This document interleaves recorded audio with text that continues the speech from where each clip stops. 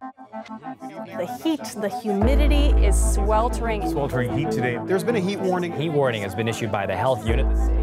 50 sensors, five cities, so many stories from a long, hot summer. Windsor, Ontario. Greg Walton was feeling extreme heat from day one. I've taken a shower. I'm already starting to wet my shirt. I'm sweating profusely. Vancouver, July 18th. Samantha Johnson was dreading the summer ahead. If I do too much, I just perspire, just it just pours off me because it's so warm. Everywhere we measured, there were similar stories. It's like almost um, 10 p.m. at night. The temperature at this time is 31. We found that temperatures inside were often far hotter than outside. Many people tend to think that if they remain indoors, they're safe. The problem is, is that indoor environments can get really hot. Ottawa professor Glen Kenny studies the body's ability to lose heat. Looking at your data, there's no question that we have to be concerned. His research found people can generally handle indoor temperatures up to 26 Celsius. Your body has to try to lose more heat, and your heart has to work harder to try and enhance that heat dissipation. So as you get above 26, it becomes more stressful on the body. CBC's analysis found half the homes in our test were above 26 degrees most of the time. Let's have a look at the data. You've been, yeah, above 28 degrees, um, even at nighttime. I sleep maybe two and a half hours, half an hour at a time. It's just too flippin' hot. 79 year old Samantha Johnson feels she has nowhere to go, day or night. I have heart failure, so as soon as I do any type of movement, the sweat just pours off of me. And so I could go to the library and I could stay there until six or seven, and then I could come back to this and not sleep all night, and then get up and go back to the library. Those politicians have got it all figured out, don't they? We also showed our findings to emergency doctor Aaron Orkin. Homes here are holding steady in the like 28, 29, uh, just shy of 30 degrees all the time uh, with almost no reprieve.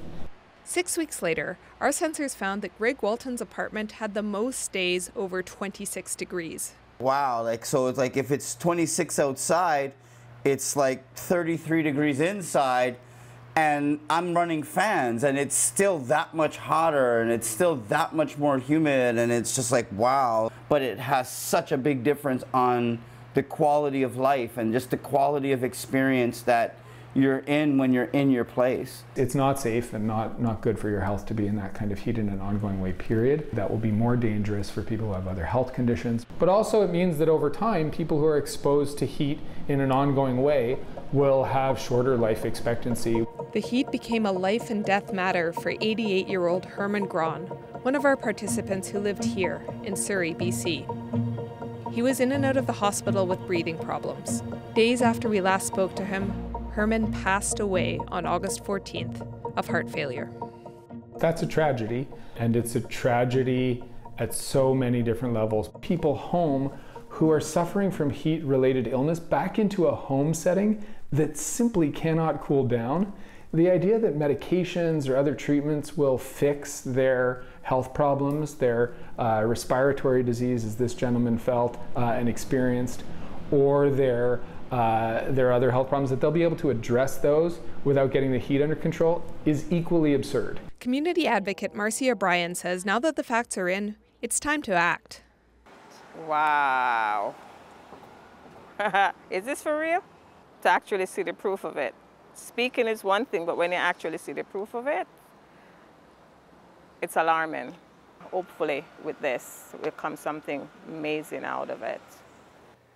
Now that's alarming enough, but heat isn't the only hazard. CBC's investigative unit also tracked the humidity using precision sensors, just like this one. Leah Hendry breaks down the dangers when summer swelter knocks out your natural defenses.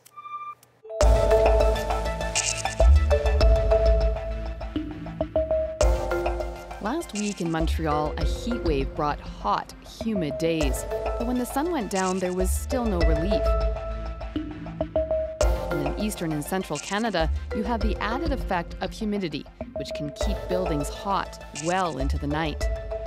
It is currently 28.5 degrees in my apartment. We spoke to three of our 50 heat monitor volunteers about what the data said about that humidity effect.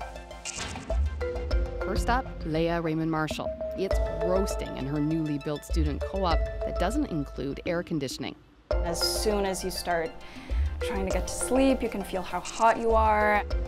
She says she could buy an AC unit, but it would block the access to her balcony. During last week's heat wave, the inside humidity was nearly 70%. It's like, you know, when you open the oven and you get the like burst of hot air, it feels like that, but all the time. Um, I'm hyper aware of how much I'm sweating right now. So this is our environmental chamber. Researcher Danielle Gagnon has studied the added effect of humidity physiologically on the body. Our main defense mechanism to stay cool is to sweat, and what really cools us off is the evaporation of sweat. The more humid it is in the air, the harder it is for that process to occur. So we might still produce sweat, but instead of it evaporating, it'll drip off onto the floor and then we lose all of its cooling power. What ends up happening inside of our body when we're not able to cool off? Our internal body temperature will increase more for a given environment. Um, that can obviously lead to dangerous things if, if body temperature increases to very high levels. There. Good. Bernadette Mamot lives with her 86 year old mother in Toronto. Both of them have high blood pressure. We got the doctor's appointment on Friday. We can get out of this heat. They tried installing an air conditioner, but it blew the fuses in the old building her mother's been renting for more than 50 years. I worry about her getting heat stroke, even though she's not outside.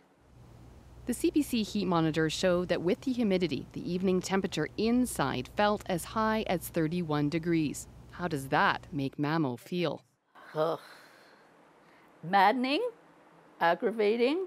We're paying rent. I'd like to be able to stay in my home comfortably but it's like we can't. In Raymond Marshall's apartment, with the humidity, it got up to 34 degrees, and that's not all. When we looked at the data, it was 10 degrees hotter in here at some point than it was outside. Okay. Meaning that it was 10 degrees cooler outside. Really? Maybe I should start sleeping outside. it's surprising too because you said your building was built in 2020. You know, when you make a building in Montreal, you think about how the, the cold is going to affect. Well, we should start thinking about how the heat is going to affect us. New buildings need to be designed so that they don't uh, store heat uh, in the summer. Dr. David Kaiser says the city's daytime cooling centers don't help people at night when the risk is the highest. If we want to be realistic and we're thinking about uh, reducing that risk at night, then it really comes down to uh, building, housing, um, and uh, urban planning. Finally, when humidity was factored in, we clocked the apartment that felt the hottest of all in our project, and it belongs to. Hi, how are you doing? How are you? MBA student Sridharan Benkeeparam. The humidity in your apartment was 70% one day in July, at the beginning oh, of July. Okay. And you actually, your apartment here reached the highest temperature of any of the other sensors that we oh, have in Canada. It reached a temperature of feeling like about 39 degrees in here. That's pretty high. what do you think about that? It's, it's really surprising, but then yeah, it's, it's really loud. I'm surprised I got through this. Now that Benkeeparam has graduated, he's looking for a new apartment where his quality of life something with shade, or better yet, air conditioning, will be a priority.